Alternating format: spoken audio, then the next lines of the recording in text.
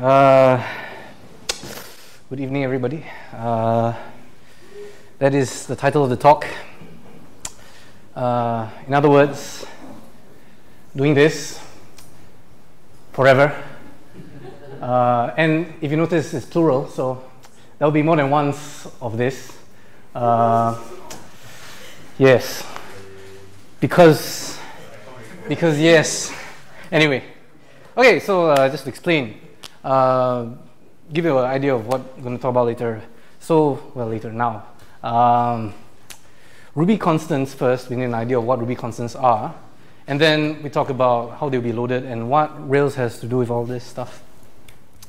So before we start properly, I'll tell a story, very short story, about why I even looked into this.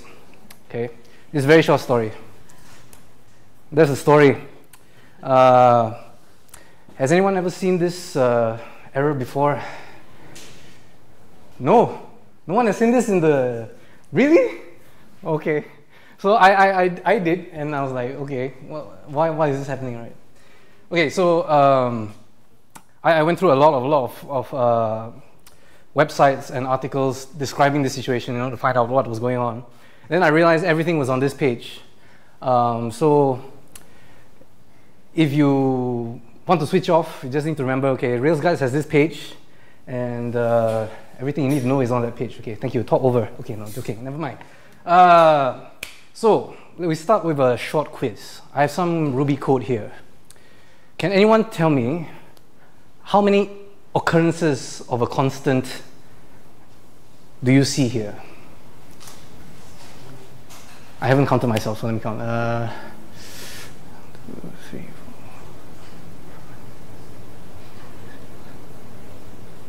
Hmm. Okay. How many of you count five or less? Okay. You're wrong. How many of you count seven or less? Okay. Also wrong. Uh, how many of you count nine or more? Okay. Unless I counted wrongly, you're also wrong. uh, so let's turn on the syntax highlighting, which we all like. Uh, everything yellow is an occurrence of a reference to a constant, right? Calendar is a constant. Event is a constant. Default duration is a constant. Max duration constant. Embeddable is a constant. Main event is a constant. Calendar, an event, again repeated, but an occurrence of a constant, right? So we see here a lot of ways to define a constant. When we define a class, we actually define a constant. Right? When we define a global variable, not global variable, variable at the top level namespace, starting with a capital letter, it's also a constant. When we define a module, the module name becomes a constant as well. Right? So, it's sort of like a variable, right? A constant. A, constant stores a reference to a value. So you distinguish between the constant name and the value, right? So a class can, uh, has a class name and the class itself.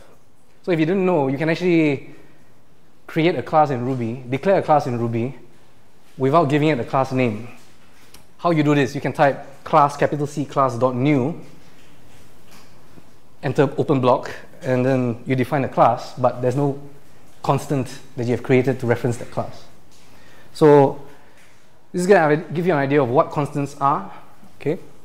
Uh, then the next question is, how does Ruby decide when you call a constant, when you reference a constant, what, what, what value are you talking about? Right. So that's what we mean by constant lookup in Ruby. Not, not like this. Ruby doesn't do this. It has no idea of, uh, well, anyway. So here, right, let's say in Rails, in the context of Rails, when you open a controller, Rails has to, Ruby has to interpret your controller file, right? So it goes to a route, the route references a controller action, it loads the controller, right? It says, okay, this is the controller file that de defines my controller.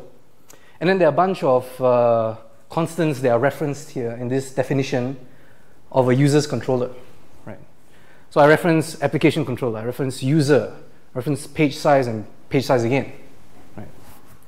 So the question is, how does Ruby decide what these constants mean? Okay. And there is, a, there is an algorithm that Ruby implements that follows, loosely speaking, um, that it uses to, this, to resolve the constant reference. The first step is to look at this thing called module nesting in order. So module nesting is an array. It looks up each element in this array, see whether that element defines this constant. If not, move to the next one.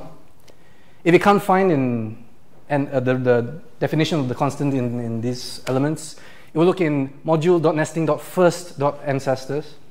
So the ancestors of the first element in module.nesting. If it still can't find it, well, okay, let's look in object. Okay. So when we look at, okay, there is a fourth thing. Right, I forgot about that. If all those three steps don't give you a constant reference, a reference to a constant, it calls constant missing on the first element in module.nesting. Right. And that's, that's where you get this name error thing when you, when you type a constant that you haven't defined anywhere in your code. Okay? So this can be overridden, and I will get to that shortly. Okay, so now we look back at this, the same controller, I with the resolution algorithm there. So module nesting is this thing can call in any context, in any scope, right? So I've given you what would look like the return values when you call these things in user's controller. If you call module.nesting in the user's controller, you would just get user's controller itself, the class, or rather the constant that references the class, to be precise. If you wanted to look up the ancestors of user's controller, you would get user's controller, application controller, right? Because it inherits directly from application controller. Of course, Rails does something, so there's actually some stuff in between. And then after application controller, there's a bunch of other things, and then it reaches object eventually, right? Why does it reach object eventually? Because all classes inherit from object eventually. Right? So, given this, okay, I reference a capital U user, okay, we go through the process. I will look first in module.nesting, which is user's controller. Does user's controller define a user constant? This is the whole entire user controller definition declaration, there is no user constant defined. So I'll go next to the first dot ancestors, which means users controller and application controller and so on and so forth until object, right? Uh, when we do this with user, it will stop at object because object will define the constant capital U user, which is what we normally understand as uh, our user active record model, right? Uh, but in the event that, that you didn't define that model, it will go down next to try object. You can see it's sort of, uh, it's, it's, sort of duplicated here because we are in the context of a class. Right? But it will try to look at object. It will not find object because we didn't define it, let's say. And then it will raise constant missing. Okay? Same for page size. Page size will go through the same process. Okay? And so that means I can define page size either in the controller, right, or in the top level namespace, or in application controller, right? And it will work. Okay. So, the big question should be this module nesting thing. Sounds a bit insidious. You need to call a method to understand where your constants are going to come from, right? It's, it's a bit weird. So, Core documentation, Ruby doc tells you module defines a method called nesting, class method, where it tells you the list of modules nested at the point of call. So if I have two modules, M1 and M2, M2 nested in M1, I define a global variable dollar sign $a. Dollar sign means the variable becomes global. I can reference it outside the module. Module nesting I can see here is M1 double colon M2, which is the nested module M2, right? M1 double colon M2 is the nested module M2. And then the second item in module.nesting is M1. So if I wanted to reference a constant inside M2, there are two places I can define this constant, right?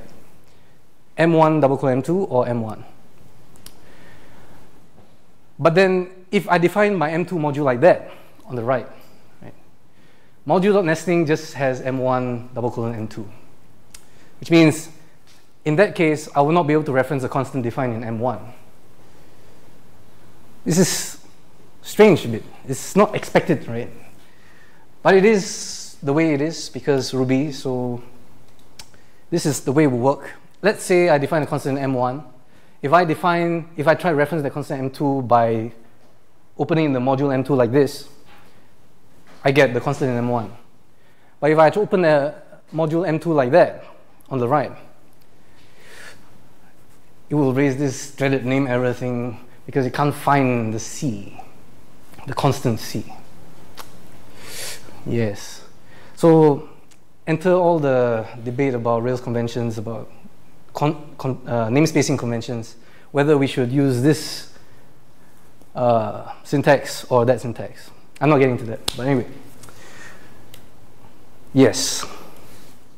Uh, so that's one piece of the puzzle, right? The next piece of puzzle is, uh, well, we know we can reference constants by qualifying the constant? We use this double colon syntax. When I say, okay, this is just the same user's controller, except that I explicitly said I want to get the page size from this user constant, right? When Ruby is looking at this file, it doesn't know whether user is a class or a module. So it just knows that there's a constant, right, which contains, whatever the constant is referring to, contains another constant page size. Okay? So how does Ruby interpret that? So there is another algorithm. Uh, the first step of this algorithm is to resolve the constant on the leftmost first, what we call the qualifying constant. First, I must know what a user is. If I type this statement, the Ruby has to figure out, okay, what you're referring to when you say the constant user. Yeah. So having that, I know my qualifying constant. I will now look inside my qualifying constant for the qualified constant, the, the one on the next right most, next right. In this case, account. Where will it look in the user? It will look in the user itself as well as ancestors of the user. Okay? And then this goes on and on until we're done with the whole qualification constant statement. So, what does this mean? In the case of this, okay, this is just the same controller. I've squished it to the right. If I wanted to resolve user double colon page size, I will first resolve user. As Ruby, I will resolve user first. Having user, I'll now look inside user for page size.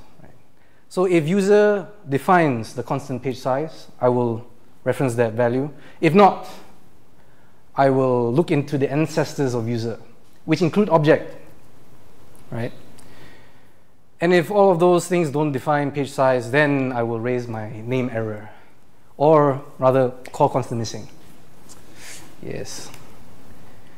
Uh, so this is basically the thing that we want to look at when we want to figure out how is Ruby going to interpret user double colon page size? We look at the ancestors, and there's a bunch of ancestors because it's active record object.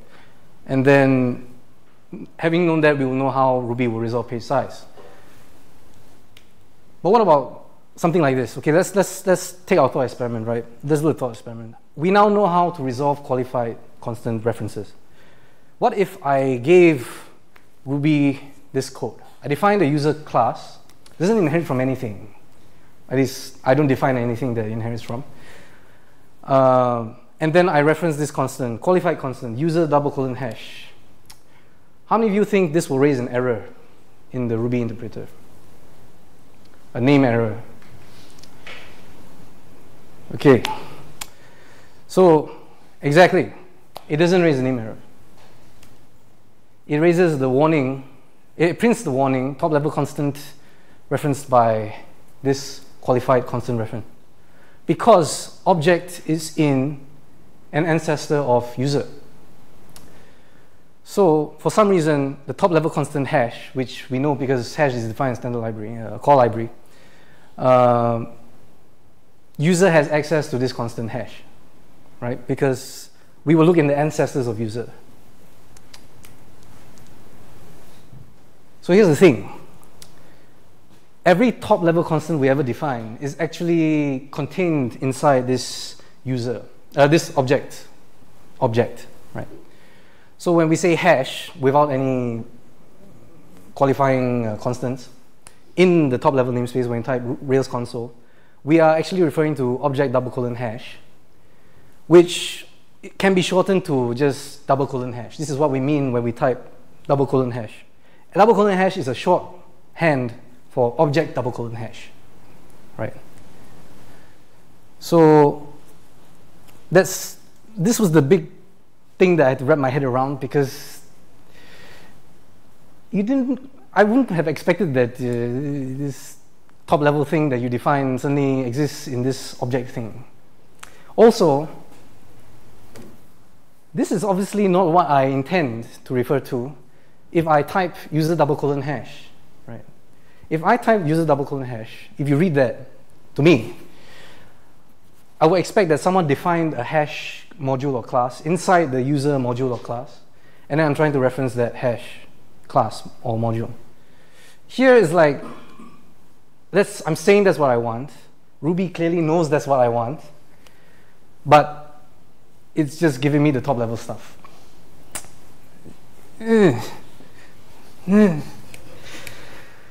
Okay, so uh, going back to this idea, what is a Ruby constant, right? So you should now recognize that firstly, this main event belongs to object, right? And so does calendar event belongs to object. So we go back to this guy. So hash is in object. That's why user double colon hash works. It doesn't break your code. It's weird. Now, if I did this with a module, module mod, reference mod double colon hash, it doesn't work. This raises the name error. Why? Because module.ancestors doesn't work like class.ancestors. Modules ancestors don't have object. The fuck? okay, so now we know how Ruby resolves constants here. Let's talk about Rails. When does Rails need to resolve a constant? Does anyone know? Have an idea? You don't have to tell me, just yes or no. You don't have to describe the thing. Anyone? Nice. So you've seen that Rails guides page before. Right. Yes, so you, you know everything I'm going to talk about. okay, so Yes, so what happens is Rails autoloads your constants when Ruby can't find them. That means if Ruby can find them, Rails is not going to load your constant. Why should this matter? Well, we go into that website, section 4. If you want to read this, you can read this. But basically, this particular section is saying, in production, we will load all your files into memory. But in development, we will not do this. We will be lazy only when we need to reference your class will we load the file that defines your class. Okay? So, in any way, even if we don't do that, even in production, even if we load the files eagerly, we will still do this auto-loading thing as we parse a file and we find constant that, constants that are referenced inside the file. Right? So, I'm now going to introduce you to the, the, this section the common gotcha section, the same page. This section forms a good third of the entire page uh, of this whole, uh, you know, auto-loading, reloading stuff that is described by Rails.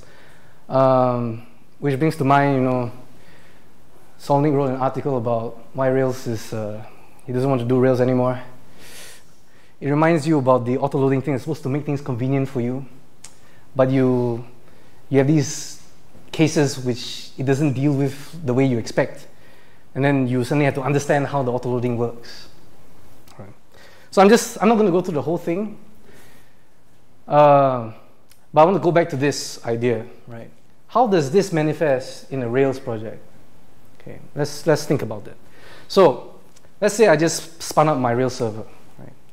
As I just said, everything is not loaded at the start. It's all lazy loaded, right? So let's say I make a HTTP request using my browser that hits this controller action, admin logs controller index. Right? Then I will start loading this uh, admin logs controller. So it says admin double colon logs controller, right? So okay, there's a constant admin there. Let's resolve that constant. So it will load admin, right? And then, okay, we have interpreted that line. We understand how to deal with this line. So the way this works is Ruby tries to find out what admin is. Ruby can't figure it out, right? It hits the constant missing method. And then because Rails overrode the constant missing method, Rails adds its auto-loading logic into the constant missing method and gives you, loads the file that defines your admin method. This is why the naming of your files with respect to the classes that are defined in the files is very important, very strict in Rails. You cannot deviate from this because if you do, Rails cannot find the correct file that defines the thing that you're trying to reference, right? So, okay, let's move to the next line. We have admin log. Okay, let's look at this. Qualified constant. Okay, first thing, resolve admin. We already resolved admin. So we know Ruby will resolve this admin to correctly to admin. Then we look at log. Okay, does admin define log? No. Admin does not define a log constant, right? So having looked in the admin, we now look at the ancestors of admin, right? Because this is the only thing that's loaded in memory in, in the Rails server, there is no there is no log anywhere, right? So it reaches the constant missing method in Rails. And then Rails says, okay, you're trying to load this thing called the admin double colon log. I know where that file is, so I will load that file, and now we will have this class that you can use in your controller, right? So this is all fine, this works. We don't have the top level constant reference error. Consider a separate case. For some reason, this was not the first HTTP request that our Rails server handled in development. We had another HTTP request we did because we were testing something else there was a logs controller that we did, and it in it loaded the logs model into our memory. Okay, so we have log already. First line, same thing. We see admin, we resolve admin correctly. Next line. I have log. Log is in object. Admin doesn't have log, but admin is a has object in its ancestor history hierarchy. So Rails, not Rails, Rails doesn't even enter this picture. Ruby says, okay, admin doesn't have this constant. I look in the ancestors, there's object. Look in object. Object has object log because log is defined on the top level. So say, okay, I can resolve this. Ruby can resolve this. Rails's constant missing method never gets called. But Ruby knows that this is a tricky thing, so it will output this line in your server log saying, warning, top level constant log referenced by admin double colon log. So if you're not paying attention to your server logs, you would miss this completely. And you will wonder why, in your view, where you're using admin logs, you're expecting this method to be defined in admin log. You can't call it because it says no method error. The method is not defined on your log. So this was the very error that I was trying to debug that led me down this whole rabbit hole of constant loading. And uh, it took me down, I think, pretty useful because you understand more about how Ruby, Ruby and Rails works. You understand that this top level thing is uh, actually object, capital O object. And then when you define a top level constant, it's on object. And then this weird behavior where class inherits from object, so if you try and reference a constant, you can type admin double colon string, and you can actually uh, continue at infinitum. Admin double colon string, double colon hash, double colon any other default class that is defined on the top level namespace, right? And that would be completely unexpected behavior because that's not how we think when we write something like admin double colon log. So this is uh, the end of my talk. I'll just to say there is an issue logged in Ruby for this. because clearly Ruby knows about this, right? Uh, this guy said, okay, well, Ruby can't find this thing. There's this warning top level constant thing. And then the hope, the hope is that Matz saw this, uh, this thread and said, I like this proposal. Let's do this in 2.4. Okay. We'll wait for 2.4. Yeah. Okay, so just to, yes, 2.4, yes, yes. Okay, so uh, references, that one website. No, actually, uh, I actually ended up looking at all these websites because that one website was the last one that I came to.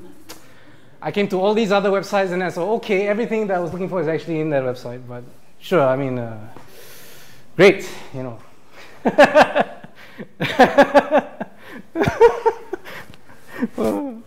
okay, thanks for listening. Thank you.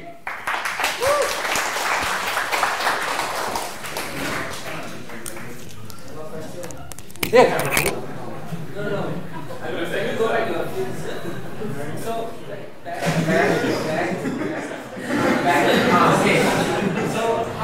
How do you solve this in the end? Ah, very, very good. So, how do you resolve this issue? Let's say you want you don't want to change your syntax, you want to say admin log. But you want Ruby slash Rails to know that well I actually refer to that guy. So obviously to make well I mean it's not obvious, but you have to make sure that admin log is in memory. So that it never reaches that log, right? Because when you define this, if this is in memory, that means log is in admin. There is a constant log in admin. And then that will reference this guy correctly. I don't have this in my slides, but active support gives you this very strange method called require dependency, uh, which you have to put at the top, or where you like actually, but you think you put at the top. Require dependency admin log, something like that. And that will tell Rails to say, okay, this file needs that other file to be loaded in memory before you should continue anything else. So require dependency, you can look this up, will resolve this issue. But then you have to remember that you have to include that thing in your class definition. Uh, would it work if you change class admin to module admin? Yes. It will also work if you change class admin to module. If you don't need admin to be an active record object. Yeah, yeah, okay. So admin is a active record object. Yeah. Okay. No, it sounds strange. I So, that, so that means admin log is a, uh, what do you call that? it's another active record object. Uh, no, if you subclass it, it means, oh, it's not subclass. It's not subclass. It's uh, it's namespace. Oh, then that's, So, so this, Yes, so that's very this came about because that's uh, very strange. right. So this came about because of the idea of namespacing your models, uh, which sounds like a good idea, right? Because if you ever dealt with a big Rails project, your models directory is huge, right? You sort of namespace it sometimes, But you, but by the name, by alphabetical but you could namespace it with a module. Yes, you could. If you didn't need an admin model. Yeah. yeah, yeah. Admin model and a namespace. So, yeah, there, there was, there's more than one way to resolve this. So, the other way to resolve this, and, but this was already built by the time I knew. You could have a account class and say, you know, that's uh, the uh, account, and account has roles, one of the roles being an admin. And that's, the, that's actually what we moved towards. Because, because I wouldn't have, if I just look at admin colon colon log, I wouldn't have thought that admin is a active record object. Exactly, Yeah. exactly. In fact, Ruby wouldn't have known either, you just look at that. We will try and resolve admin the constant name, and then we will say, okay, there's a class admin. Uh, class, classes inherit from modules, so they inherit their behavior. Uh, yes. Um, does anyone have any more questions for? So behind the scenes, right, is Ruby um, actually hashing all these name constants to you know to make the, to increase the speed of the lookup or Okay. or to make the thing more compact. I didn't look into that completely, Mm-hmm. but uh, modules have this collection of constants that the modules contain. Yeah. Um, so there is a, it's sort of, it knows what it owns, but it's not cached on the level like admin logs controller will not cache the value of admin logs. Admin log. It's, I don't think so. I'm not sure. Okay. Because I know Python does it. So every every keyword you use, uh, they actually hash the thing, so you can you look it up in dictionary. Right. So that makes the code more compact and then it's also faster. Yeah. So I don't know if Ruby does that. Yeah, yeah. Ruby does, that. every module has this table of contents. Uh, You mentioned that it might change the constant the top level lookup in 2.4 and 2.4 is supposed to be released in a month because it's always around Christmas. Do you know if it was if it was finally accepted or if it caused too many I have problems? no idea. Okay. Yeah. Does anyone have any more questions for Wei Liang? Um, if not, uh, thank you Wei once